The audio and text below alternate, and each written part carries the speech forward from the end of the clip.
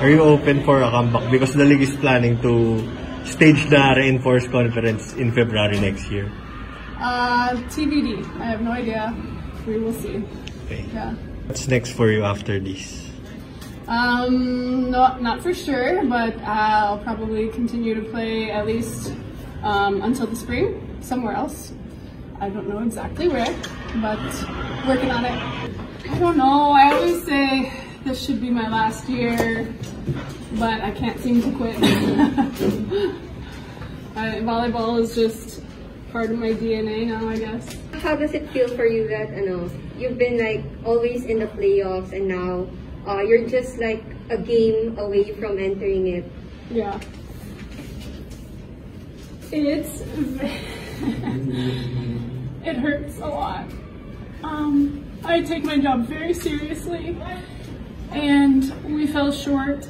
And yeah, we just fell short.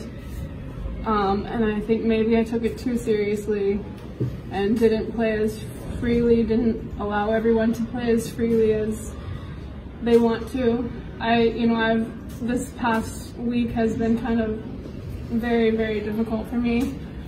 And I've probably not been that much fun to be around, to be honest.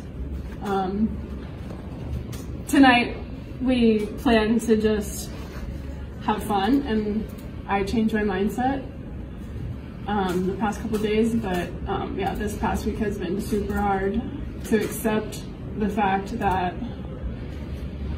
I just could, I did everything I could, but it wasn't enough this year.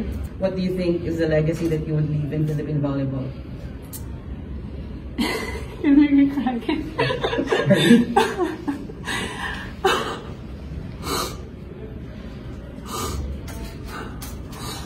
um, yeah, I wanted to leave a legacy of just excellence. You know, I want to be known as the import that can always get to the final. You know, she lifts up her team and helps them get to the final every time. She's dependable. She's a team player. She works super hard and just really has embraced um, everything about the Philippines. So um, the fans have been amazing to me.